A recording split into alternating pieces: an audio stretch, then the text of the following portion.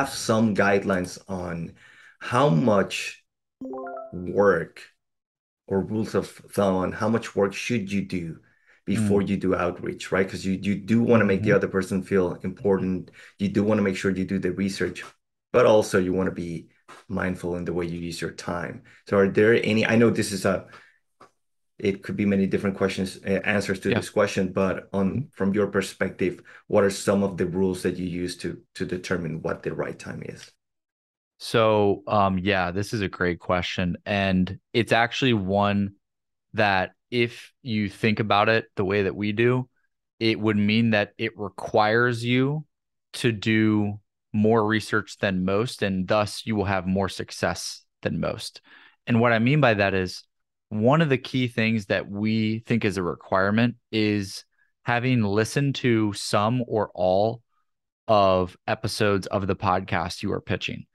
It is funny to even say that as like it's a thing that should be required, but it it is true that most don't do that. It's because they're they have a list of 100 shows and you know the shows are in the marketing category and most of them the people have never heard of outside of just doing research to build this list of shows and they don't feel like spending the time to actually go one by one through each show and getting to understand the nuances of each one including hitting play on episodes and actually listening to the podcast.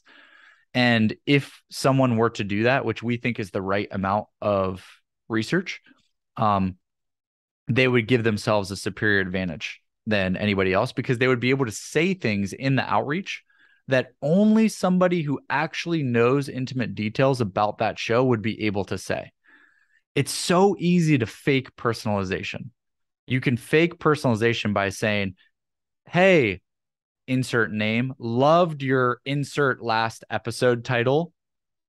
Like that's, that's, that is so common that it's, it's literally white noise at this point. But being able to reference something that was at minute 38 of the episode that was five episodes ago and then tie it to one that was two episodes ago and tie that to your life as the person pitching, that is harder to do. And it shows the host that you actually know, oh, okay, this is an actually, this is an insider.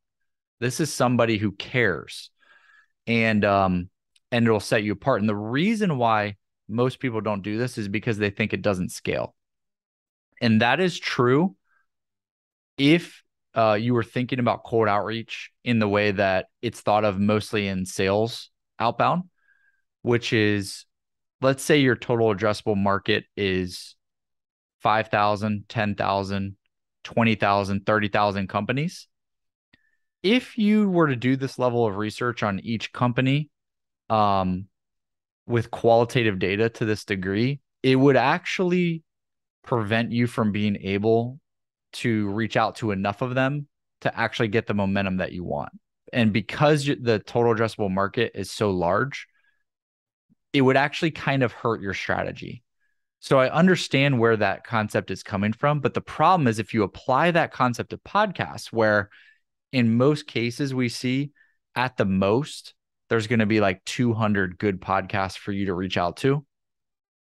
Every single one is important. And so if you apply the um, qu- high quantity strategy to a low quantity total addressable market and you apply no quality to it, it you're going to run out of shows very quickly and you will have ruined your chances with most of them because you did not apply quality and you run out fast. Whereas if you've got 50,000 possible prospects you can reach out to, that that's going to last you a long time. But if you've got 200 shows, you're going to run out quickly, especially if you're pitching the same templated cold email, you know, pitch to everybody and not applying any personalization to it.